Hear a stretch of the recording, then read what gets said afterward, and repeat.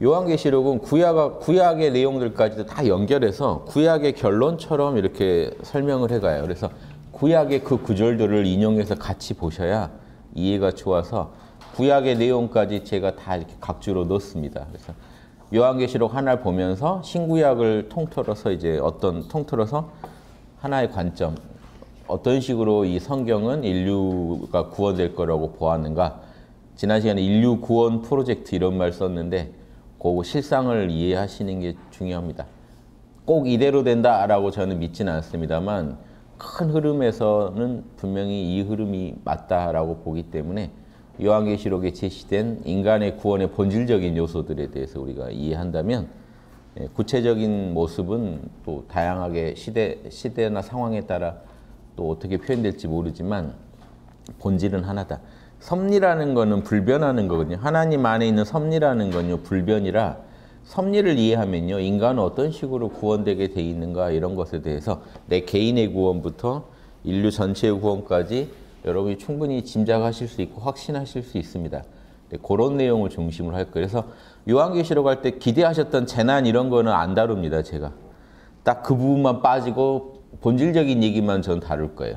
뭐 재난이 오네, 뭐 나팔을 불면 무슨 재앙이, 대접을 부으면 무슨 재앙이, 그건 이미 여러분이 지금 현실에서 다 목도하고 계신 거예요. 쓰나미, 기아, 전쟁, 테러, 살인, 뭐 다 그 내용이에요. 더 뭐 신선한 거 기대하시면 그냥 우리가 살고 있는 모습이 재난이다. 재난은 왔는데 제가 왜 재난을 빼고 하냐면 재난은 이미 와 있어요. 아니 장, 지난 세계 때 세계대전을 두 번이나 했어요. 그 인류로서 최고의 재난들이에요. 그 이상의 센 게 와야지 이거 기대하시면 그건 좀 이상한 겁니다. 정신에 좀 병이 있으신 거예요. 인류가 한번 망해야 된다든가 이런 이런 발상이신 거고 구원을 생각하셔 지금 구원받아야 된다라고 지금 우리가 생각하고 보는 거고 요한계시록은 구원에 대한 이야기예요. 그래서 그 구원 전에 그 인류를 쓸어버리려고 이게 아니에요. 구약에 보면 그런 내용이 나오긴 해요. 노아 때 인류가 하도 악해서 하나님이 쓸어버리려고 홍수를 뭐 일으켜서 했다. 그것도요 아주 지구상의 국지적인 그 지역 홍수를 가지고 얘기하는 거예요. 그, 그 지역에서는 종말처럼 보였겠죠. 보세요. 일본에 쓰나미가 났다. 그 지역 사는 분들한테는요 천지개벽이에요. 쓰나미라는 건. 그런 일을 겪으신 거예요. 그래서 그 경험들이 세계 곳곳에 남아있어요. 세계 곳곳이 그런 일을 겪었거든요. 그 당시. 우리나라에도 있어요. 홍수 신화들이 곳곳에. 인디언들한테도 있어요. 세상이 다 물로 덮였다가 다시 육지가 드러나면서 인간이 겨우 살게 됐다. 이런 신화들은 인디언과도 있고 어디 가 있어요. 그럼 그때 전 지구적인 사건이냐? 그러니까 전 지, 구적인그 물에 뒤덮여 있던 상황도 있었겠죠. 그런데 그게 아니잖아요. 지금 인류가 한참 살다가 물에 덮인 상황은요. 그건 전 지구적으로 없, 없었습니다. 현재까지. 과학적 증거가 없고 다만 우리가 현재 발견해 보면요. 성경에 나온 그 시대쯤에 중동에 그런 큰 홍수가 있었다고는 봐요. 그러니까 그런 사건들을 가지고 다 자, 그런데 성경은 그걸 왜 전 지구적인 것처럼 썼냐? 그런 사건 속에서요. 신의 섭리를 읽어내는 거예요. 성경을 쓰신 분들은 내가 겪는 일, 쓰나미 아니면 내가 겪는 작은 재난에서도요. 작은 역경에서도요. 신의 섭리를 읽어내면요. 신의 섭리는 똑같아요. 큰 일이건 작은 일이건. 그러니까 작은 일에서도요. 섭리가 보이면요. 무섭습니다. 아주 작은 일이에요. 여러분 가족하고 말싸움 하나 한 것 안에도요. 신의 섭리가 있어요. 요렇게 하면요. 가정이 살고요. 요렇게 하면 가정이 죽는다. 이거 그대로 이걸 얘기해 주면 예언자가 돼요. 누가 지나가다가 이 얘기를 해 주면 예언자가 돼요. 예언자일세. 예언자가 아니에요. 그냥 그 뭐 이렇게 신기한 예언을 하려고 점, 점쟁이가 예언하는 그런 식이 아니라 하나님의 경고를 그대로 얘기해 준 거죠. 그 하나님의 경고는요, 양심의 경고죠. 그러니까 이런 거예요. 그러니까 이 성경을 너무 신기하게 보지 마시고 우리 살아가는 얘기예요. 일상에서 하나님의 뜻은 항상 분명합니다. 지금도 길에 나가시면 하나님의 뜻은 분명해요. 한번 차 달릴 때 대로로 한번 뛰어들어 보세요. 쉽지 않으실 거예요. 예, 그러지 말라고 하니까. 그러니까 하느님이 나를 그냥 방치하는 것 같아도요. 안 그래요. 길 가다가 어떤 가게 들어가서 물건 집어서 그냥 나와 보세요. 못 나와요. 우리 못 나와요. 발을 떨리고 이게 식은땀 나고 안 되게 돼 있어요. 강력하게 우리는요 통제되고 있어요. 하나님의 큰 프로그램 속에서. 이게 불교에서 다르마라고 하면 다르마 속에서 우리 살아가요. 근데 그걸 불어 어겨요. 어기고 어긴 과보를 받아요. 어긴 대가를 받아요. 성경에는 구약부터 뭐라고 돼 있냐면 뿌린 대로 거두리라 그래. 이게 인과 법칙, 카르마 법칙. 그러니까 성경은 윤회론을 대놓고 얘기를 안 해서 그렇지 인과 법칙에선 둘이 동일해요. 불교나 기독교나. 인과 법칙은 그거 없으면요. 성인들의 가르침이 성립을 안 하고 우린 구원받을 수도 없고 어떤 것도 불가능합니다. 인과 법칙이 없다면요. 여러분은 그냥 사셔야 돼요. 나쁜 일을 했죠? 복을 받으실 수도 있어요. 그냥 사세요. 착한 일 했죠? 망할 수도 있어요. 그냥 사세요. 랜덤 인생이 랜덤. 복불복 랜덤. 그냥 하나님 마음인 거예요. 그럼 우리가 이런 거 이런 걸 읽을 필요가 없고 예수님이 지상에 오실 필요도 없어요. 왜? 인과 법칙을 믿으니까 오신 거예요. 내가 이렇게 씨를 뿌리면 반드시 어떤 과보가 있으리라. 자, 그러니까 인과 법칙은요. 모든 4대 성인 아니라 모든 인류의 위대한 성인 성현들의 공통된 믿음이 인과 법칙입니다. 제가 뉴에이지 사상에 대해서 비판한 이유가 뉴에이지는 인과 법칙을 허물려고 그래요. 노력을 안 해도 대가를 얻을 수 있다. 죄를 지었더라도 죄를 안 받을 수 있다. 요걸 양대 골자로 해서 뉴에이지 사상들이 전개됩니다. 그러니까 다른 영적인 거 좋은 것도 많은데 그 좋은 것들을 그 두 가지가 망쳐요. 왜? 영적인 자, 정보들은 많은데 요 두 가지가 없으면요. 성인들의 가르침하고 무관한 거예요. 4대 성인들의 가르침과 무관해요. 그래서 모든 성인들은 이 인과 법칙을 아니까 죄 짓지 마라, 많이 가지려고 하지 마라, 남 거 뺏지 마라고 하는데 뉴에이지는요. 인과 법칙을 부정하니까 뭐가 돼요? 많이 가져라. 죄와는 무한하다. 죄를 지어도 네가 죄의식만 갖지 않으면 벌을 받지 않는다. 이런 얘기를 해줍니다. 당장에는 시원하죠. 그러니까 괴롭던 분한테는 그러니까 인기 뭐 방, 불교에서는 방편이라고 하고 인기응변은 돼요. 그때 그때. 그러니까 당장 죽어가는 사람한테 저는 죄책감 때문에 죽을 거예요. 자살할 거예요. 아니야, 네가 왜 죄가 있어? 인류의 죄야. 그건 너의 죄가 아니야. 이렇게 얘기해 주는 건 방편책은 되죠. 근데 정신 차리고 나면 그걸 계속 고수하면요. 이 오히려 우주의 뜻을 위배하는 삶을 살게 돼요. 그러니까 어떤 특정 상황에 급할 때만 쓰는 걸 방편이라고 합니다. 방편은 정법이 아니에요. 그래서 정법은 사대 성인들한테 찾으세요. 방편은 무궁할 수 있습니다. 방편은 무궁할 수 있어요. 별의별 거짓말이요. 사람 살리는 데 쓰이면 다 그게 좋은 게 돼요. 그러니까 방편은 무궁한데 경전에는 정법을 써놓습니다. 왜? 그 방편도 요 정법에 입각해서 썼을 때만 독이 안 되고 약이 돼요. 그래서 이 본질의 정법에 바른 길에 집중을 해야 됩니다. 그래서 그 집중은 이제 우리가 성경을 보거나 어떤 다른 경전을 보더라도 인과 법칙의 근거에서 오늘 난 무엇을 뿌릴 것인가. 뿌려놓으면요 반드시 과보가 맺습니다. 그 어떤 그 과보가 올라올 때 이제 여러분 책임지네 못 지네 하지 마시고 지금 잘 선별해서 좋은 씨앗을 골라서 뿌리는 지혜. 인과 법칙을 믿고 그것 때문에 이런 성인들이 오셔서 이렇게 얘기를 해주세요.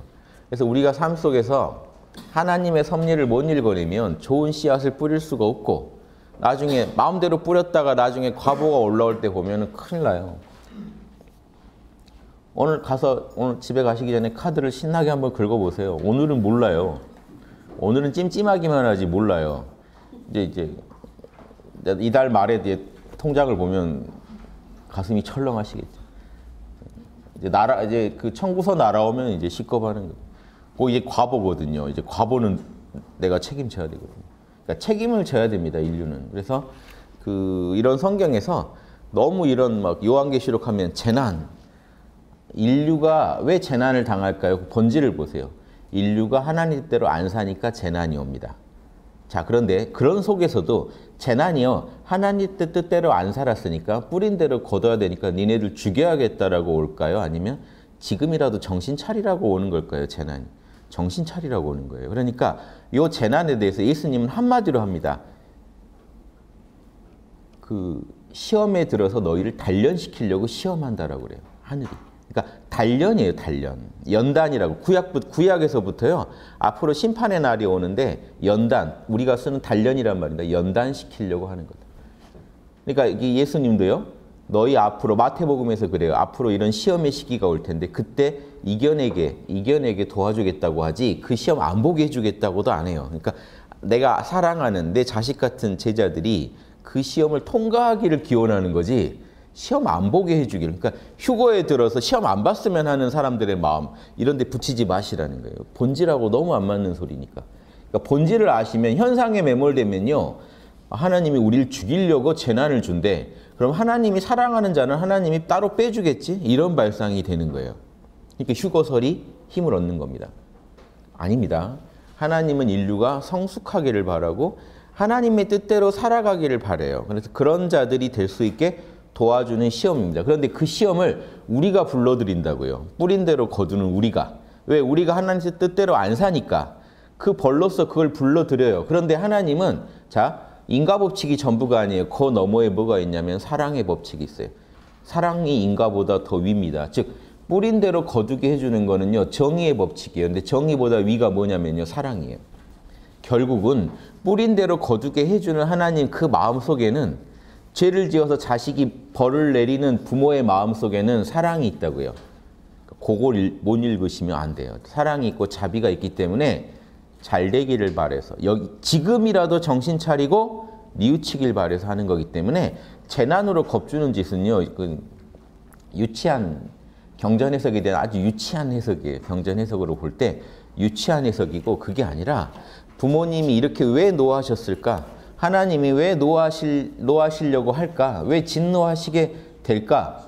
우리가 양심을 어기고 하나님 뜻을 어겨서. 그래서 우리가 양심의 뜻을 어기고 우리, 우리 뜻대로만 살면 이런 진노는 당연히 오지 않을까? 하나님이 진노하기 전에요. 사실은요, 인간들끼리 괴롭혀서 다 망해요. 인간들, 천재지변이 오기 전에 인재로 망해요. 우리가 양심을 어기면 인재로 매일매일 사람들이 지금 전쟁 상황만큼 죽어나가고 있어요. 지금 전 세계적으로. 이미 엄청난 재난이 와 있다는 것도 아셔야 돼요. 그러니까 새로 뭐 요한계시록 읽으면서 놀라실 일이 아니라고요. 지금 여러분은 거의 전쟁 중에 살고 계세요. 지금 한국에 자살하는 사람들 수가 전쟁에서 죽는 사람 수만큼 죽어가고 있어요. 미국에서 학교에서 그런 총기 사고나 이런 걸로 죽은 숫자가 전쟁에서 죽는 숫자보다 많다 이런 얘기도 나오더라고요. 지금 엄청나게 우리 일상에서 죽어가고 있어요. 전쟁 중이에요. 왜요? 비양심 때문에. 하나님 뜻을 어겨서요. 지금 이런 게 재난입니다. 지금 이런 얘기 들으시고 더 놀라셔야 돼요. 오지도 않을 천재지변 걱정하는 거 무슨 뭐 괴질이 퍼지고 이런 걱정하지 마시고 지금 일상에서 이미 엄청나게 죽어가고 있다고요. 안전 불감증 때문에 빨리 지으라고 무조건 빨리 지으라고 윗사람들의 그런 한마디에 밑에 사람들 죽어나가죠. 급하게 짓다가 지금 뭐 얼마나 많은 사람들이 죽습니다. 안전장치라도 해주고 사람을 일을 시켜야죠. 사람을요 수단화해서 하나님 뜻에 다 어긋난 겁니다. 하나님 하나님은 모든 이 인간을 다 사랑한 자녀로 보시는데 우리는 수단으로 생각해요. 내 돈벌이의 수단으로. 벌써 이게 지금 벼락 맞을 짓을 하고 있는 거고 거기에 따른 재난이 이릅니다. 과보가 와요 이미. 그러니까 꼭 천재지변이 와야 재난이 오는 게 아니에요. 이미 우리는 우리끼리 지금 엄청나게 상처를 주면서 예, 힘들게 하면서 서로가 서로를 힘들하면서 살고 있어요. 자, 요한계시록 내용은 제가 그래서 그런 재난 소소하게 안 읽어드립니다. 여러분 다 아시는 내용. 어떻게 살아나오실 건가 이게 어떻게 구원받을 건가. 지금 여러분의 가정은 우리 사회는 인류는 어떻게 사람답게 하나님 보시기에 이쁘게 살 건가. 그거 얘기가 요한계시록의 핵심입니다. 여기서 재난주로 읽는 분들은요. 그걸 이용해서 뭘 좀 해보고 싶은 분들이에요. 그걸 이용해서 사람들 겁줘서 재미 좀 보고 싶은 분들이 그런 분들이 재난 오면 제일 먼저 가실 분들이 걱정하지 마시고 그 뭐 재난 온다고 따로 모여 있는 분들이 있죠. 그런 분들은 거기 가 끼면 안 됩니다. 벼락이 쳐도 제일 먼저 그런 데 쳐요. 왜? 일반인들보다 그 사람들이 더 죄를 짓고 있는 하나님 뜻을 왜곡까지 시키잖아요. 일반인은요. 아, 내가 잘 살았다고 생각 안 해요. 그러니까 뭔가 좀 부끄럽다고 생각하지. 근데 그런 사람들은요. 뻔뻔해져요. 거기 가면. 같이 뻔뻔해져요. 하나님한테 이제 대드는 지경의 자녀가 돼요. 아버지, 제, 제일 많이 지은 애들이 따로 모여가지고 지들끼리, 저희들끼리 반성했습니다.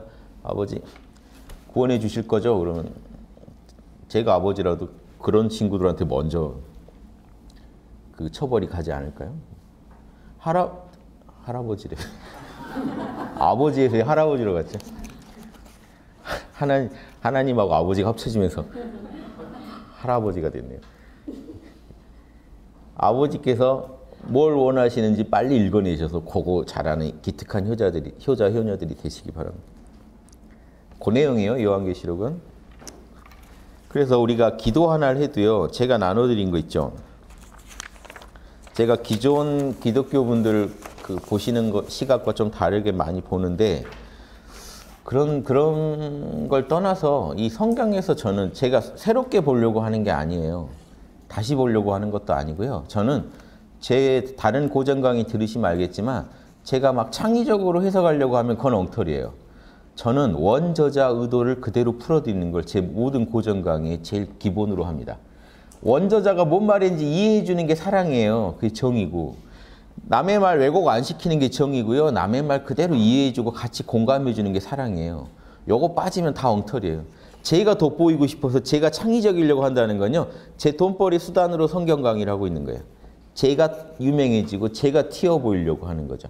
그런 짓거리 안 합니다. 그런데 사람들이 창의적이라고 하는 건요. 아무도 이렇게 원저자의 의도를 잘 안 읽으셨기 때문에 창의적으로 보이게 된 거예요. 황당하죠, 제 입장에서. 저는 철저히 원저자의 의도 그대로 읽어드리는 걸 목표로 합니다. 그러, 그러다 보니까 복음서 사대 복음부터 그렇게 보니까 너무 일관되게 예수님의 메시지가 저한테 너무 강렬하게 느껴져서 그걸 좀 정리해가지고 그 제 홍익학당 카페 가시면 성령과 구원이라는 글로 제가 좀 정리하고 있어요. 그, 그 글을요, 올린 뒤로도 계속 제가 추가해 가고 있습니다. 성경 공부하다 정리되는 내용이 있으면 하나씩 추가하고 있으니까 성령과 구원이라는 글은 좀 수시로 그 수정됐는지 한 번씩 보시고요. 근데 이제 제가 그 읽어드려요. 여기 자주 나오시는 분들한테는 제가 최근에 추가한 내용을 출력해 온 거예요. 이번 주에 추가한 거랑 지난주쯤에 추가한 거 두 개, 그때 못 읽어드린 거 두 개 뽑아왔으니까 요것부터 한번 읽고 설명드릴게요. 자, 요한계시록의 본질은 지금 우리가 요한계시록을 읽기에 모였는데 요한계시록의 본질은 재난에 대한 얘기가 아니고 하나님을 그렇게 진노하게 하는 인간의 죄의 근원, 하나님 뜻을 어기는 삶. 자, 그리고 그걸 반대로 그 그런 이제 죄를 극복하고 하나님 뜻을 따르는 삶은 어떻게 이루어지는가? 죄는 어떻게 짓게 되고 우리가 선은 어떻게 하게 되는가? 이걸 정확히 아셔서 우리 이 사회에서 선이 구현되는 지상 천국을 한번 만들어 보자 하는 게 요한계시록의 핵심 내용입니다. 그래서 우리도 한번 사람답게 하나님의 그 통치 아래서 하나님 뜻을 우리가 따르면 하나님 통치 아래 있는 거죠. 하나님 뜻을 따르면서 사람답게 한번 제대로 살아보자. 지금까지 우리 인류가 산 거는 제대로 산 게 아니었다. 에덴 동산에서 쫓겨난 이후의 삶은 제대로 산 게 아니었다. 다시 우리 진정으로 에덴 동산 돌아가서 제대로 한번 살아보자. 하나님 에덴 동산에 돌아가 산다는 게 뭔 의미인지 한번 생각해 보세요. 하나님이 인류를 창조한 그대로 한번 살아보자는 거예요. 창조하신 뜻대로 한번 살아보자. 지금 우리는 창조하신 뜻대로가 아니라 하나님 형상대로 인간을 창조했다고 성경에 써 있는데 창세기에 그대로 산 게 아니고 우리 뜻대로 살았고 우리 형상대로 살았다. 하나님 형상대로 한번 살아보자는 새 역사의 시작점입니다. 요한계시록은 새 역사 개, 이런 동양에서는 개벽이라고 하죠. 새 개벽이 오면 이런 좋은 삶이 구현될 거다. 그 전에 시험의 시기가 있고 연단의 시기가 있을 것이다. 그 시험을 통과할 때 우리는 성숙해진다. 그래서 반드시 그 시험은 통과해야 돼요. 그 시험을 피할 생각하시면 안 돼요. 통과해서 성숙해져 가지고 성숙해진 존재만이 승리자만이 시험이란 게 뭐겠습니까? 죄의 유혹. 그 죄의 유혹을 하나님의 뜻으로 성령의 뜻으로 이겨낸 사람, 성숙한 사람, 즉 거룩해진 존재, 하나님 자녀가 된 존재, 요한계시록에서 말하는 승리자, 승리한 자 같아서 당당하게 천국 한번 들어가 봅시다. 제 요한계시록 얘기 다 했네요. 이게 답니다. 이거 이것만 기억하세요. 다른 이 격가지로 흐르시다가도 이 본질을 기억하고 다시 돌아오시면 요한계시록의 핵심이 보이실 거고요. 격가지로 빠지면 이제 답이 안 나와요. 뭐 7년 환란이니 7년 환란이란 말이 나오지도 않아요, 성경에는. 성경은 무조건 3년 반 환란입니다. 7은 완전한 숫자이기 때문에 이제 한 반 잘라놓은 그 3년 반을 불길하다고 보는 것 같아요. 3년 반 하면 무조건 재난의 대표 숫자입니다. 모든 성경에서 재난 그러면 3년 반. 사흘 반. 다 이게 비슷해요. 사흘 반, 최소한. 사흘 반, 3년 반. 이런 식으로 3.5에 주목해요. 3.5. 이 안 좋게 봅니다. 3.5. 근데 사람들이 전 3.5, 후 3.5 합쳐서 7이라는 숫자를 만들어서 7년 대환란 얘기를 하는데 그게 꼭 요한계시록에서 나오진 않아요. 그러니까 그런 얘기를 혹시 이 얘기가 나오더라도 아무데나 다 7년 대환란 붙이지 마시라. 그냥 그 맥락에서만 보고 이해하셔라. 요한복음은 무조건 환란 얘기를 할 때는 3년 반 환란을 계속 얘기합니다. 그러니까 사람들이 스토리를 엮다 보니까 2, 3년 반은 뭐고 2, 3년 반은 뭐야 하고 섞다 보니까 호, 혹시 전 3년 반, 후 3년 반, 7년 이렇게 이해하게 됐는데요. 그 관점도요. 그건 인간들이 임의로 합친 거예요. 그냥 있는 그대로 3년 반으로만 봐주세요. 성경을 제대로 우리가 이해 못하는 선에서 막 합쳐버리면요. 더 죽도 밥도 안 됩니다. 성경은 있는 그대로 즉 환란을 얘기할 때는 3년 반이라는 식으로 얘기한다. 사흘 반 아니면. 자, 그렇게만 이해하시고 자, 그럼 우리 본질은 하나님 이제 우리 죄를 극복하고 거듭나는 거죠. 하나님의 자녀로 거듭나는 거죠. 예, 그래서 그 부분에 좀 도움이 되실까 해서 글을 뽑아왔는데 1, 지금 1번은요. 제가 그리스도의 사명 요거는 우리가 예수님을 먼저 좀 이해 제대로 이해하고 예수, 이, 예수님의 길을 따릅시다라는 차원에서 넣은 글인데요. 한번 보시면 지난번 강의 때도 말로는 대충 해드렸는데 요 구절을 읽어드리지는 않은 것 같아서 제가 들고 왔어요. 그리스도의 사명은요. 뭘까요? 자, 예수님의 사명 그러면 지금 교회 다니는 분들한테 뭐 얘기해 보면 다양한 얘기 나올 겁니다만 주로 이제 십자가에서 돌아가신 거, 우리 인류의 죄를 탕감해 주신 거, 부활을 통해서 또 우리 모두가 부활할 수 있게 해주신 거 이렇게 이제 쉽게 얘기합니다만 그 더 본질은요. 그것도 방편이에요. 예수님의 얘기로 들어보실래요? 그 요한복음 14장 31절 읽어볼게요. 내가 십자가에서 처형을 당하는 것은 하는 고 얘기 하시다가 하는 거예요. 예수님이 오직 나의 아버지께서 명령하신 대로 실천하여 내가 아버지를 사랑, 사랑하였음을 세상에 알게 하려는 것이다. 이해되세요? 심플하죠?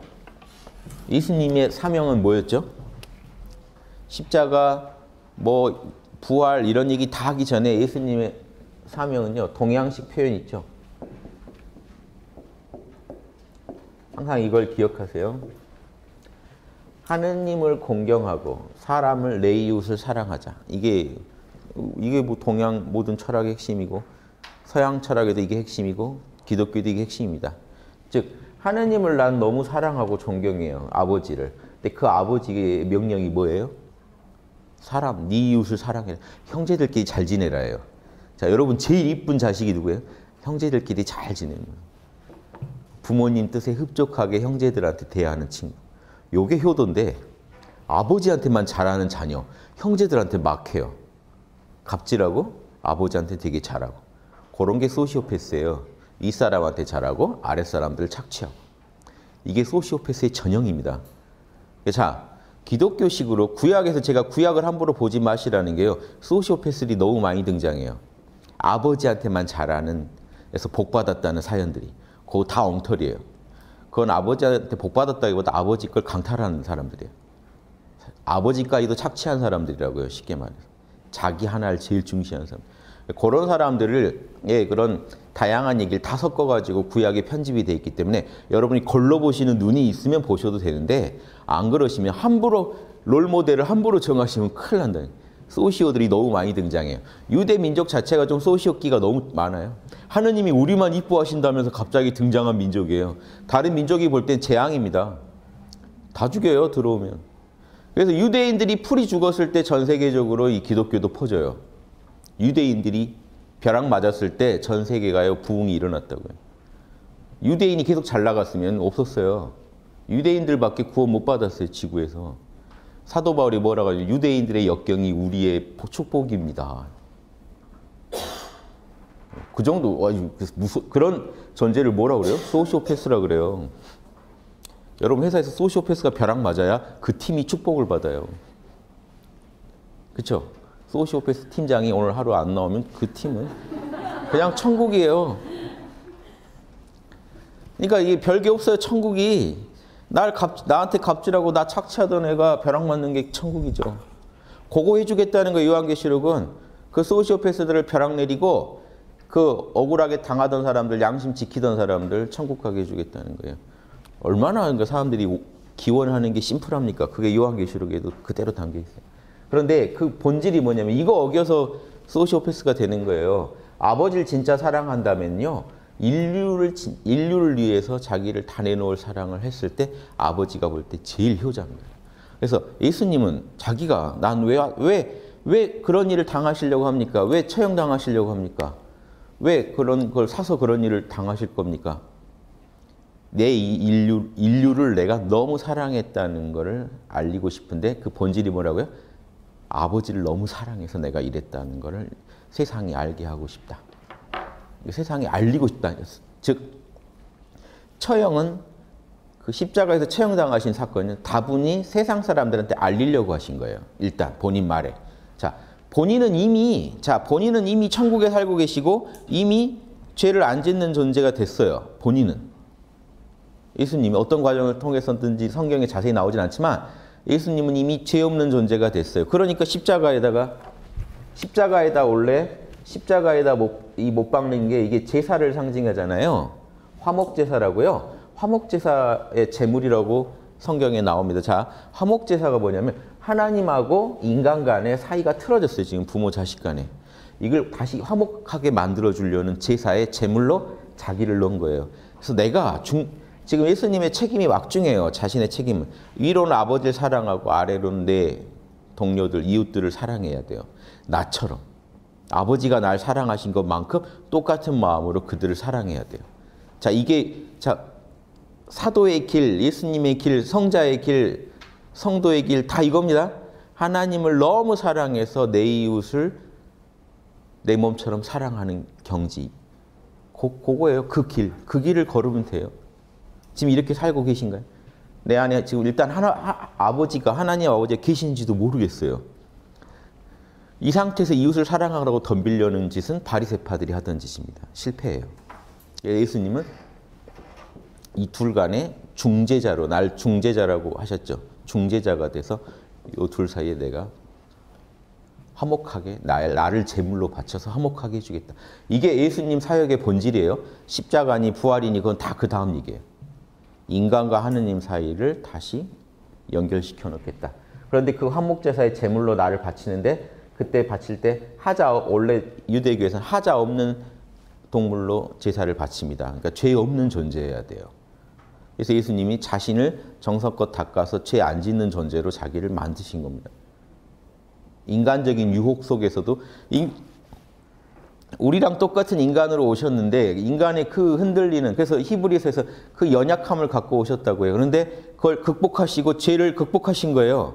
그 얘기는 뭐냐? 이분이 자, 근데 이 자체가 경천애인 하려다 나온 거예요. 하나님 사랑하고 내 이웃을 사랑하면서 살려다 보니까 죄를 극복할 수밖에 없죠. 죄를 지으면 안 되죠. 내 자기가.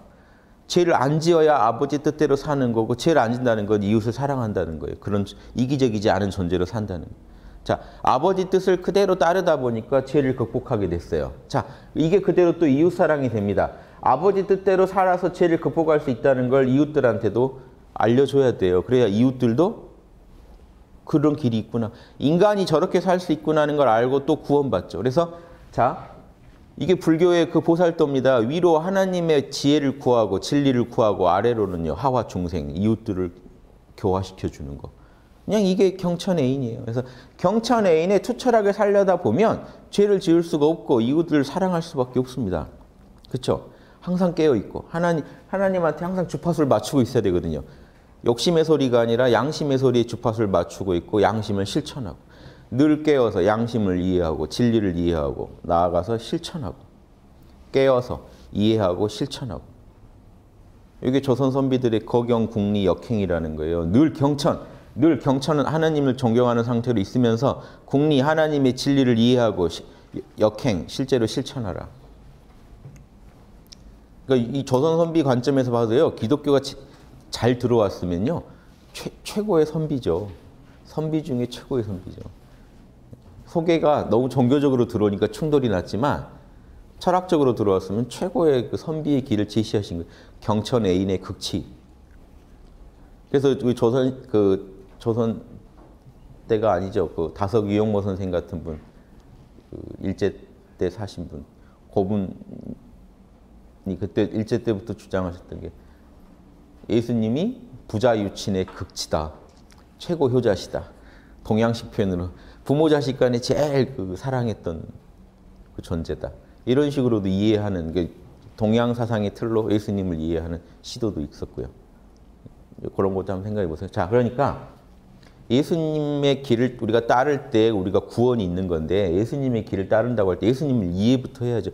예수님 어떤 삶을 사셨냐? 성경 보실 때 예수님이 본인이 얘기하시잖아요. 나는 아버지를 너무 사랑해서 내 이웃들을 내 몸처럼 사랑했던 사람이다. 그걸 세상이 알게 하고 싶다. 그래서 나 죽으려는 거다 하는 거예요. 일부러 죽는다는 게 아니라 이렇게 이웃을 사랑하다 보면 난 죽을 수밖에 없는데도 이웃을 사랑을 해야 되겠다는 거예요. 그러다가 죽으면 세상 사람들이 알게 될 것이다. 그러니까 세상 사람들한테 이 죽음마저도 세상 사람들을 교화하기 위한 하나의 방편으로 쓰고 있는 것 뿐이에요. 예수님 입장에서는. 이해되세요? 여기까지? 이 교회에서 되게 정형화된 틀로 보지 마시라고요. 원저자의 의도대로 보자고요. 그건 제가 도와드릴 자신 있어요. 원저자의 의도를 제가 이해해서 소화해서 도와드리는 거는 제가 자신 있으니까 지금 이 글에서 분석되는 저 말을 하는 분의 심리는 저겁니다. 내가 다른 사, 사람들한테 왜 이 죽음을 무릅쓰고 이 길을 가고 있고 너 그렇게 가다 분명히 죽는데 자기도 알아요. 이렇게 가면 죽는다는 거 아는데 가고 있는 이 심정은 아버지가 나한테 명령하기를 네 이웃을 사랑하라고 명령했기 때문에 나는 사랑하다 가겠다라는 거예요. 그 이웃들이 그걸 보고 사랑하다 진짜 목숨도 내놓는 사람이 있구나.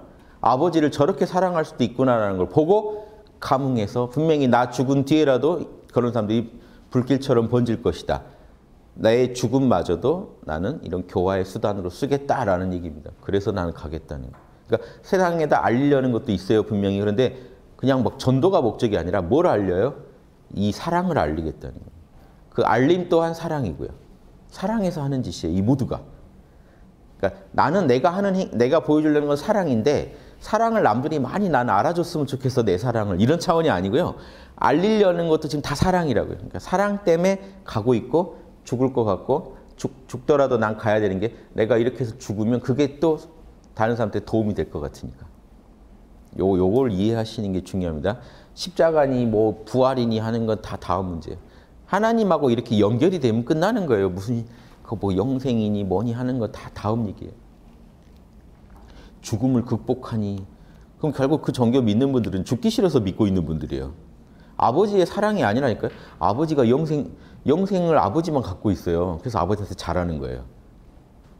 그 그게 효자, 효자 효녀의 모습입니까? 아버지가 아직 유산을 다 안 넘겨서 지금 잘하는 거예요. 집에 찾아가고 막 선물 보내고 명절 때 가고 유산을 딱 다 주고 나면 해요? 안 가겠죠. 영생 얻고 나면 아마 신경 안 써요. 그러니까 죽기 싫어서 지금 기독교를 다니고 있는 분들은 죽기 싫어서 지옥 가기 싫어서 즉 아버지가 벌을 내린다니까 자 지옥 때문에 기독교를 믿는다. 지옥이 겁나서 자 상이 탐나서 영생 얻고 싶어서 천국 가고 싶어서 기독교를 믿는다. 도덕 단계에서요. 벌이 싫어서 상이 싫어서 이게 초딩 단계입니다. 거의 유딩 초딩 단계의 도덕 수준이에요. 그래서 안 된다는 거예요, 기독교가. 이런 논리로만 계속 장사하고 전도하고 교화해서는요, 망한다는 겁니다. 전체 국민 수준이 유, 딩 초딩이 돼요. 더 성숙한 건 뭔지 아세요? 아버지 뜻이 그러니까예요. 근원적인 메시지. 아버지 그 뜻이 그런 줄 이해한 그 효자 효녀가 나와야 되는데 아버지가 자꾸 나를 감방에 가둬놔요. 말을 어기면. 그래서 안 갈라고 지옥 안 갈라고 나는 지키고 있어요. 바리새파들 천국 갈라고 하고 있어요. 아버지가 좋은 방 준다 그래서 거기 하고 말을 듣고 있는 거예요. 진짜 효자 효녀는 누구라고요? 아버지 뜻을 그대로 이해해서 말하지 않아도 이해하고 자기가, 자기가 나서서 해버리는 사람. 고분이 예수님이에요. 그 집의 제일 맞이. 하나님이 아버지고 어머니시라면 그 집의 제일 맞이가 예수님이고 다른 형제들은 지금 정신 없는 거예요. 그러니까 막 겁도 주고 막 요한계시록으로 너희들 말 안 들으면 아버지가 너희를 막 어떻게 해버린대. 뭐 쫄아가지고. 그 다 엉터리죠. 쫄아서 하고 있는 것도 엉터리인 거예요. 아버지가 원하는 건 그게 아니에요, 여러분. 내가 너희를 진짜 재난으로 쓸어버릴 거니까 내 말 들어. 예, 알겠습니다. 그게 지금 좋습니까? 허탈하죠. 제가 준호한테 너 그 잘못하면 너 왜 아버지 하고 안 뛰어와? 제 마음은 제 마음은 뭐겠어요? 제가 딱 들어가면 아빠 하고 뛰어오는 거잖아요. 근데 딱 근데 안 뛰어와요. 준호, 너 장난감 누가 사줘? 그럼 뛰어와요. 와, 좀 좋, 좋나요? 좀 씁쓸하죠, 그냥. 그러니까 뭐 그래도 알으니까 좋다 하고 있지만 그 마음은 아니잖아요. 그러니까 똑같아요. 하나, 하나님 아버지랑 그 무형의 존재랑 교감을 해야 되니 이거 얼마나 어려운 일이에요. 실제로 인류 중에 별로 교감하고 그렇게 하는 분이 없어요. 그러니까 예수님이 갑자기 나오니까 그냥 그분이 하느님이죠. 그래서 제자들이 볼 때 하느님으로 보이는 거예요. 왜냐하면 하느님하고 교감을 하고 있어요. 완벽하게.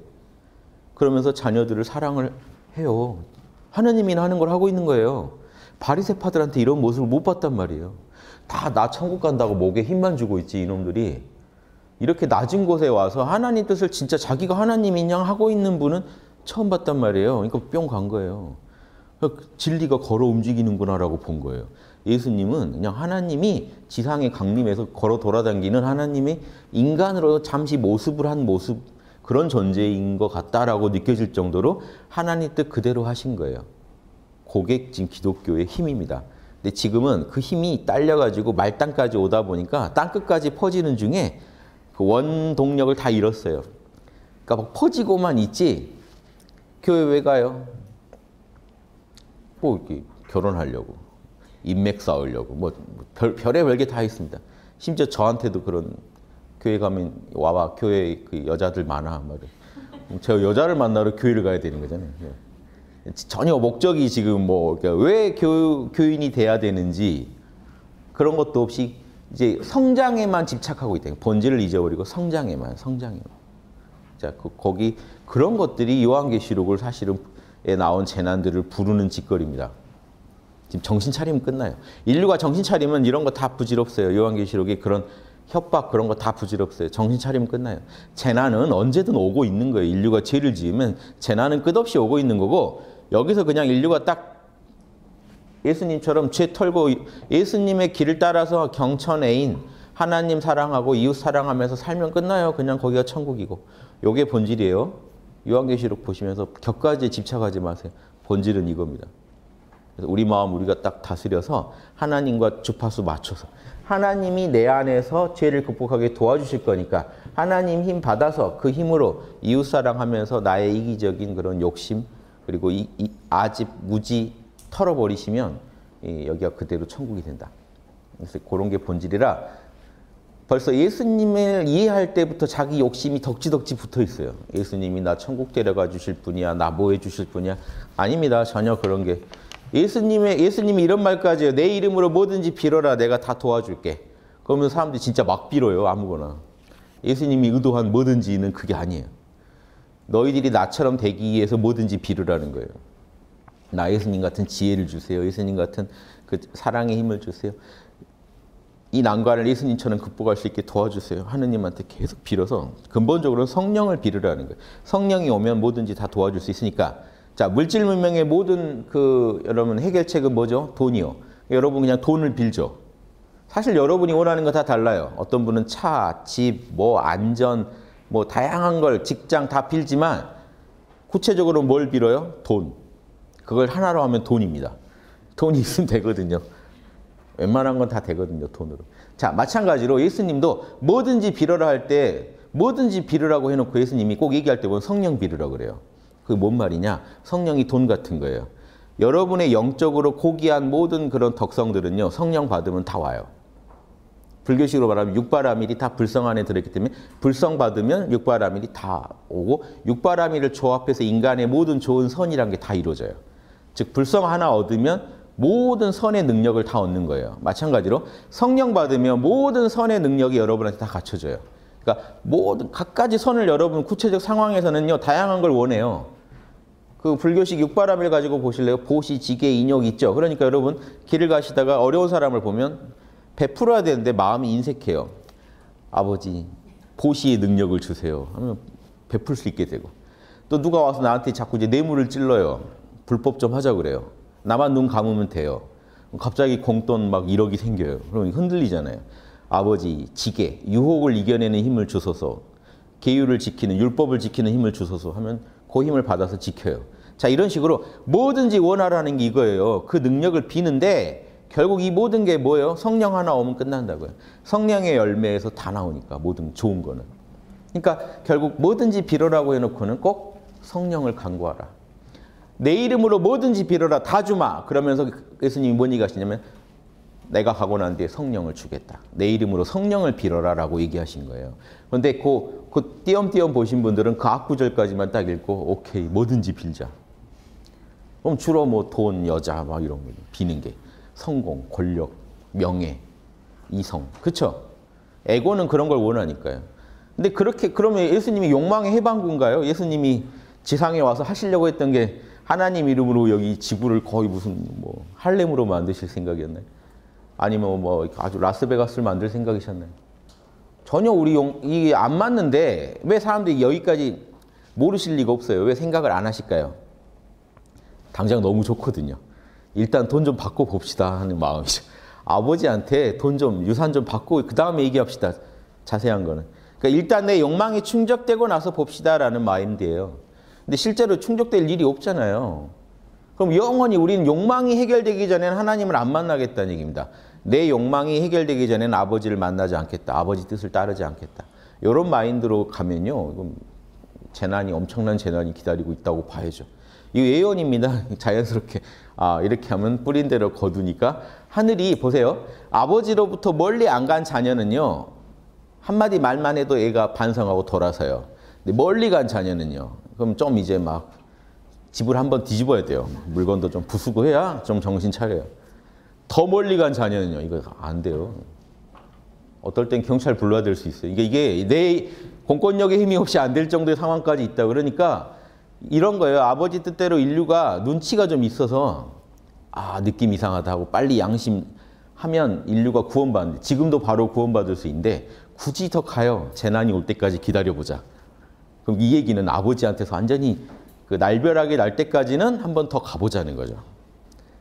그렇죠. 그 아버지 뜻을 잠깐 내가 어겼는데 아버지 눈치가 안 좋아요. 그럼 아, 이미 알았잖아요. 내가 그럼 지키면 끝날 일인데 내일 또 해요.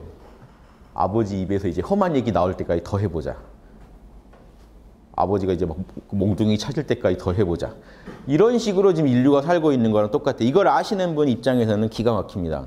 모르면요. 아버지가 있는지도 모르는 사람들한테는 지금 이런 얘기는요. 황당한 협박인데 아는 분한테는 이게 그대로 그냥 그 뭐 막연한 예언도 아니에요. 그냥 너무 너무 당연한 과학 법칙처럼 너무 당연한 거예요. 야 너 거기 벼락에서 뛰어내리면 중력의 법칙 때문에 너 죽는다. 요런 거 같은 얘기 이게 예언인가요? 이걸 예언이라고 안 하죠. 야 너 거기 63층에서 뛰어내리면 너 죽어. 이게 예언인가요? 이 정도 수준이에요. 지금 예언자들한테 예언이라는 건 일반인이 볼 때 예언 같죠. 앞날을 얘기하니까 예언 같지만 예언자들은요. 그냥 아버지 뜻의 그 원리에 입각해서 너무 지당한 과학적 사실을 얘기하는 거예요. 그렇게 되면 그렇게 됩니다. 니네 이렇게 살면 나라 망합니다. 요, 요 말이 무슨 예언인가요? 그럼 진짜 꼭 망하거든요. 그러니까 이게 예언인 거예요. 진짜로 망하니까. 그러니까 지금 뿌리는 걸 보고 어, 너 지금 팥을 심네? 너 팥을 거둘 거야. 충격받습니다. 팥을 거둘 거라고? 자기가 팥을 심고 있는데 넌 팥을 거두게 될 거야. 이 말이 예언으로 보이시나요? 콩을 심고 있는 친구한테 넌 콩을 거두게 될 거야. 제가 예언합니다. 항상. 여러분 다 돌아가실 거예요. 예언인가요? 그러니까 이게 앞날을 얘기한 거니까 예언은 맞는데 그 예언을 우리가 흔히 아는 예언으로 생각하지 마시라고요. 자연의 섭리, 하느님의 섭리를 가지고 얘기하는 거예요. 그 섭리상 당연히 일어날 일을 얘기한 거예요. 네, 그게 앞날에 대한 얘기일 뿐이니까 우리 예언이라고 하는 거지. 성경에서 예언은 그런 겁니다. 그러니까 예언을 경청해야 된 이유가 그 지당한 섭리를 얘기하고 있기 때문에 그래요. 피해갈 수 있는 그런 게 아니라. 네. 물을 갖다가 백도로 끓이려고 가열해 놓고는 안 끊기를 계속 비도하고 있는 거랑 똑같아. 제발 오늘만 그냥 안 끌어줬으면 좋겠다. 백도 지나가도. 그럴 리가 있나요? 그게, 그게, 그게 예언입니다. 끓게 될 것이다. 백도 근처가 되면 끓게 될 것이다. 이게 예언입니다. 그래서 이, 이, 런 내용에서 그런 걸 보시고 그래서 우리가 그 공식을 알아야 되는데 섭리가 뭐냐? 하나님의 섭리는요 인간들을 어떻게 인도하시는 거냐? 이걸로 인도해요 이걸 어기면 죄가 되고 이걸 따르면 선이 된다는 거예요. 예수님은 이걸 따르는 선의 삶을 보여주신 거예요. 이렇게 살면 나처럼 다 천국에 살 수 있고 다 구원받을 수 있다는 걸 보여주신 거예요. 이게 본질입니다. 근데 사람들은 또 욕심이 붙어요. 예수님 돌아가실 때 내 죄까지 탕감되지 않았을까? 그러니까 즉 나는 고생을 혹시 안 해도 되지 않을까? 그러니까 예수님 부활할 때 나도 그 생명책에 이름이 같이 올라가지 않았을까? 그래서 나는 고생을 안 해도 예수님이 부활하셨기 때문에 나도 쉽게 부활이 되는 게 아닐까? 그냥 교회 나가서 11조만 바치면 교회 아니면 교회만 나가면 믿음만 고백하면 그러니까 이런 망상들입니다. 망상들. 심각한 망상. 뭐 바리새파만 모두 못해서요. 뭐 제가 볼 때 그런 분들은 뭐 답이 없습니다. 현재로서. 성경적으로 답이 없. 왜냐 성경에 그런 분들에 대한 답이 없거든요. 그런 경우에 대한 답이 없어요. 딱 한마디 하셨죠 예수님이 주여 주여 하는 자 나는 쌩깔 거다. 내 이름을 걸고 귀신까지 쫓고 해도 나는 쌩깔 거다. 왜? 삶이 이런 식으로 하나님 뜻대로 안 산 사람한테 나는 내 나는 모른다고 할 거다. 나는 모르는 사람이라고 할 거다. 내 제자라고 안 할 거다라고 하셨어요. 그리고 분명히 서로 사랑하는 자는 난 내 제자라고 볼 것이다. 분명히 얘기가 다 나왔습니다. 기본 기본을 그냥 점검해 드리는 게 기본. 기독교의 기본. 요걸 놓치고 요한계시록 읽으시면 아무리 읽으셔도 그 또, 또 욕심에 욕심을 더 하시는 거예요. 그 여러분 협박이 통하는 사람은 욕심을 가진 사람한테 협박이 통합니다. 내가 욕심을 갖고 있으면요, 네 재산 다 뺏을 거야. 그럼 쫄죠. 너 뭘 네가 갖고자 하는 뭔가를 내가 망쳐버릴 거야. 쫄죠. 욕심 없는 사람은요, 전혀 안 통해요 협박이. 그러니까 하나님 뜻은 욕심 버리고 하나님 뜻대로 사는 건데 그런 사람들한테 그런 유치한 협박은 전혀 안 통해요. 그, 그런 경지로 가셔야 되는데 협박 같은 협, 협박 같지도 않은 협박에 다 넘어가고 계신 그런 상태가 과연 그 정상적인 상태인가? 하나님의 자녀가 오히려 일반인보다 더 그 영성이 떨어진다는 게 말이 되는가? 저는 그게 하도 심각하게 느껴져서 말씀드리는 거예요. 일반인도 아는, 일반인의 영성으로도 아는 얘기를 하나님 자녀를 표방하는 사람들이 어떻게 모르고 더 황당한 얘기를, 몰상식한 얘기를 할 수 있는가? 그게 근원이 제가 볼 때는 예수님의 사명에 대한 이해부터 잘못돼 있다는 거예요. 그래서 제가 이 얘기를 좀 드린 거예요. 그래서 예수님 스스로 하는 말씀 한번 보세요. 보세요. 나는 내 아버지께서 명령하신 대로 실천했는데 그게 이웃 사랑이었어요. 인류를 위해서 나를 바친 거죠. 그게 아버지 뜻대로 한 것뿐이고 내가 아버지를 이렇게 사랑했다는 것을 세상이 알게 하려는 것이다. 세상에 좀 보여줘서 세상 사람들도 내 아버지 사랑, 이웃 사랑을 보고 그들도 좀 반성하는 바가 있기를 바란다는 게 본질이에요. 그래서 내가 지금 예수님 이렇게 얘기 안 했어요. 내가 죽음으로써 모든 인류의 죄를 탕감하려는 것이다. 이렇게 얘기 안 하셨어요. 그건 후대 사도들의 해석이고요. 예수님 본인은 이, 이런 입장이에요. 그냥 난 사랑을 보여주겠다는 거예요. 인류를 내가 이렇게 사랑했다. 아버지를 이렇게 사랑했다는 걸 보여주겠다는 거예요. 그리스도의 사명은요, 제가 풀이를 해놓은 겁니다. 아버지를 사랑하여 아버지 뜻대로 온 인류를 사랑한 것 뿐입니다. 그게 다예요. 지금 여러분도 지금 사명이 뭐게, 뭐여야 되죠, 지금? 요한계시록 때문에 또 겁, 겁나가지고 재난 대비, 휴거 대비 이런 게 아니라 지금 뭐예요?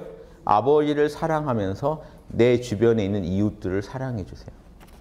재난이 올 텐데요. 재난 오늘, 오는 순간까지 사랑해 주세요. 그게 다예요. 재난 닥쳐서도 사랑하세요. 뭘 도와주려고요? 아버지가 재난하면 당하는 거죠. 뭐. 쓰나미 오면 가는 거죠. 뭐 인류가 별거 있어요. 자, 연 앞에 얼마나 무력합니까? 갈 때 가더라도 사랑은 할 수 있잖아요. 자, 갈 때 재난이 와서 간 걸 가지고 아버지가 왜 그렇게 죽었어? 라고 할까요? 아니죠. 아버지 뭘 물어볼까요? 너 죽는 순간까지 나 사랑했어? 이웃 사랑했어? 다예요. 이것만 하시면 돼요. 영성을 높여야 된다. 다 부질없는 이에요 사랑을 하는 게 영성을 높이는 거지. 여러분 제 강의 듣고 혹시 막 올 이번 생에 한 7지는 가야 되는데 막 2지, 3지, 에라 1지 막 이런 거 의미 없습니다. 다, 그거 다 욕심이고 망상이에요. 여러분은 사랑을 하셔야 돼요. 아버지 사랑. 안으로 아버지 사랑, 참나 사랑, 밖으로 이웃 사랑. 또 다른 나인 이웃들을 사랑하는 거. 내가 괴로운 것만큼 남들도 똑같이 괴롭기 때문에 나 애지중지하는 마음으로 남들도 돌봐주는 거 이게 다예요. 이거를 열심히 하시기 위해서 우리가 명상도 하고 수련도 하고 기도도 하고 묵상도 하는 겁니다. 자, 요거를 하시는 게 본질입니다. 요걸 하고 하시는 게 본질인데 혹시 격가지로 내가 이번 생에 내 영성을 높이 남들보다 높이 끌어올려야 되는데 라는 생각이 드러나, 드, 드신다면 그게 이웃 사랑, 아버지 사랑에 맞는 소리인가요? 진리의 기준을 이걸로 놓고 한번 보시라고요. 안 맞죠? 날려버리세요. 몰라 해버리세요. 몰라? 난 아버지 사랑할 거야. 아버지가 하라는 거 지금 내 역량에 맞게 아버지가 하라고 하는 거 그거 해버릴 거야. 그게 그게 최고의 영성 높이는 길인데 말단을 붙잡고 있다고요. 말단에 본질은 이겁니다. 지금 그래서 제가 이 얘기를 지금 드린 이유가 나는 뭐 영성이 낮아서 좀 더 높아진 뒤에 이런 거 얘기하시는 것 자체가 불효예요. 지금 효, 효자 효녀 되시는 길은 갑자기 무슨 거기 상강오륜 강의하는데 여러분이 효자 효녀 되시는 비결은 지금 여기서 이 세상이 내 겁니까? 아버지 거예요. 아버지 거. 내 몸도 아버지 거, 내 마음도 아버지 거. 다 아버지 거를 아버지 뜻대로 처리해 주면 돼요. 내 역량만큼. 아버지가 내 역량 다 알아요. 나한테 과한 걸 요구하셨을 리가 없다고요. 아버지가 지금 나한테 요구한 그거 잘하는 게 효자예요. 꼭 그 불효자들 그래요. 지금 효도하라니까. 아버지 지금 아버지한테 문안 인사 드렸니? 아니 판사 된 뒤에 드리려고. 판사 된 뒤가 뭔 의미가 있어요? 그런 친구들은 판사 대도 안 드려요. 뭔 얘기인지 아시겠죠?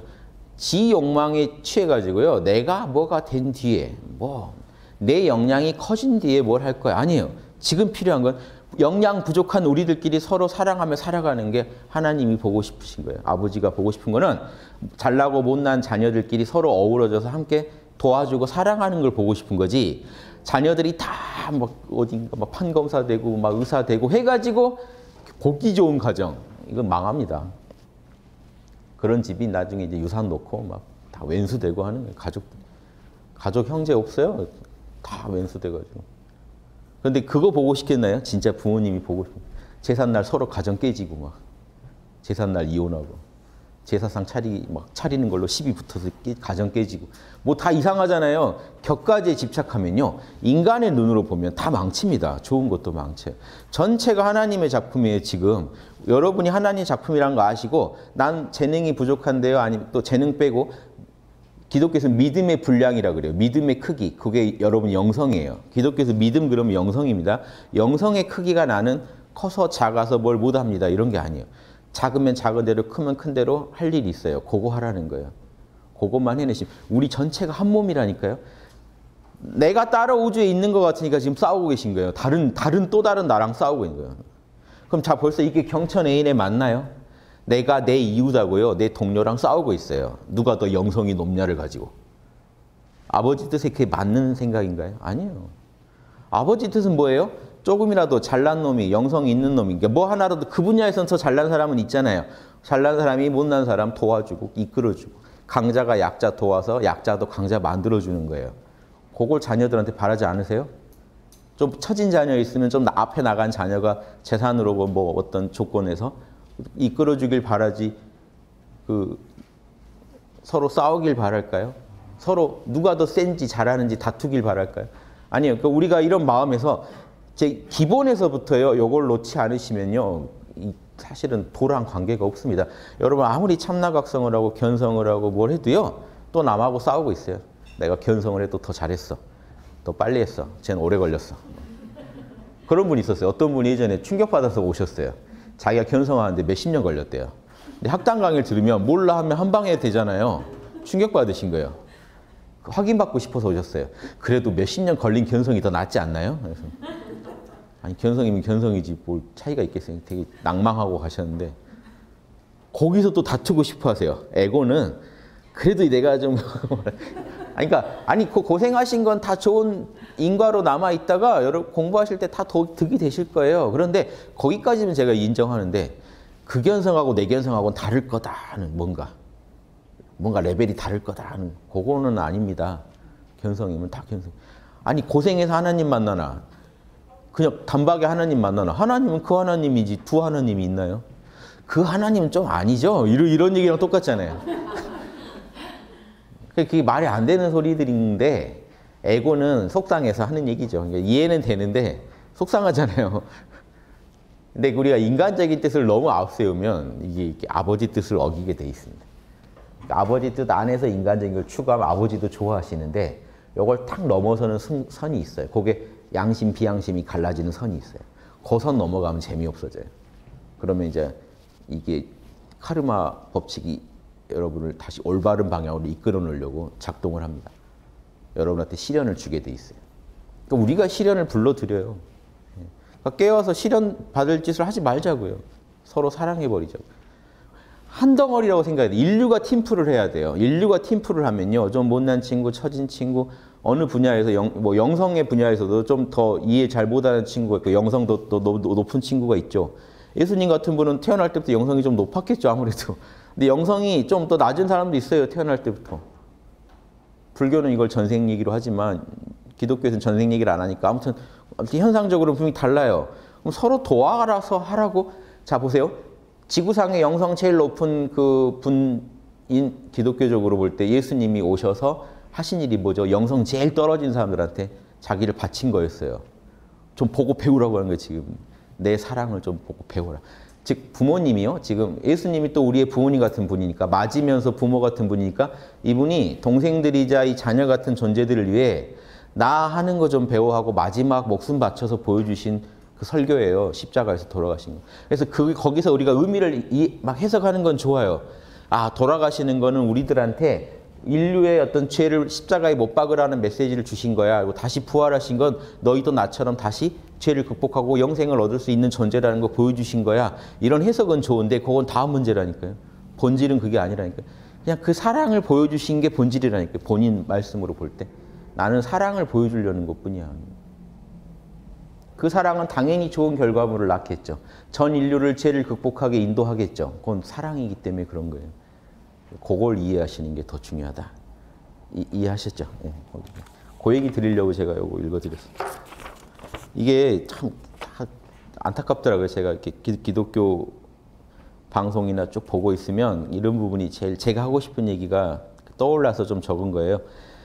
자, 사랑의 실천. 이것이 예수님 사역의 본질입니다. 십자가, 즉 십자가에 못 박히신 거 있죠. 죄의 소멸. 보세요. 현상적으로는 예수님 죄의 소멸이고 예수님의 부활인데 인간 중에 한 분이신 예수님 이걸 해내셨단 말이에요. 그러면 너희도 나처럼 죄를 소멸하고 영생 얻을 수 있어라는 걸 보여주신 거죠. 그리고 그런 인간이 하나 존재했다는 게요. 한 사람이 할 수 있는 건 모두가 할 수 있습니다. 다른 사람도 할 수 있어요. 다른 사람들한테 길을 보여주신 거예요. 예수님은. 근데 이제 나중에 이제 제자들이 너무 여기다가 이제 막 많이 걸어가지고 예수님이 나를 위해 돌아가셨으니까 나 오늘 좀 방황해도 돼 이런 식의 발상까지 하게 되는 건 그건 타락이고요. 예수님을 사랑한다면 그런 말을 하면 안 됩니다. 남을 사랑한다는 거예요. 그 사람 마음을 이해해 주는 거예요. 예수님 마음을 이해해 보세요. 지금 좀 손에 잡힐 듯이 이해해 보세요. 인류를 위해 진짜 모든 걸 내놓고 사랑하신 거예요. 그게 본질이에요. 근데 갑자기 그 얘기가 내 죄까지 탕감해 주셨다면서 그럼 나는 좀 근데 왜 죄를 지어요? 좀 이상하죠. 죄를 탕감했다면서 그러니까 나는 좀 죄를 지을래. 난 내 뜻대로 살래. 좀 쉽게 살아도 될 것 같아. 그게 사랑의 마음입니까? 그게 그 사랑하는 가족을 사랑하는 이웃을 사랑하는 마음이에요? 전혀 아니잖아요. 예수님이 그러셨으면 여러분 더 할 생각을 해야 돼요. 사랑하는 가족이 나를 위해 그렇게 고생했다는 걸 알았다면요. 나는 더 고생할 생각을 해야 돼요. 그게 사도 바울이 말하는 원래 메시지인데 다 이게 편의대로 왜곡돼 가지고요. 고생은 안 하고 단물만 빼먹으려고 예수님을 아직도 십자가에다 걸어놓고 계십니다. 내려오지 마세요. 거기 더 계세요. 우리를 위해 고통을 좀 더 겪으세요. 당신이 고통을 겪어줘야 우리가 살잖아요. 이런 마인드로 혹시 접근하고 계신지는 아닌지 인류가 즉 십자가 죄의 소멸과 부활 영생의 성취는 인류가 모든 죄를 극복하고 성령으로 거듭나 영생을 누리도록 인도하기 위해 자신을 제물로 바친 그 사랑의 실천일 뿐입니다. 그 모든 장치들은요 사랑의 실천이라는 본질의 그 한 부분들일 뿐입니다. 부분에 집착해서 부분적 자명함을 너무 확대 해석해서 본질을 가리시는 일이 있어서는 안 되겠습니다. 예.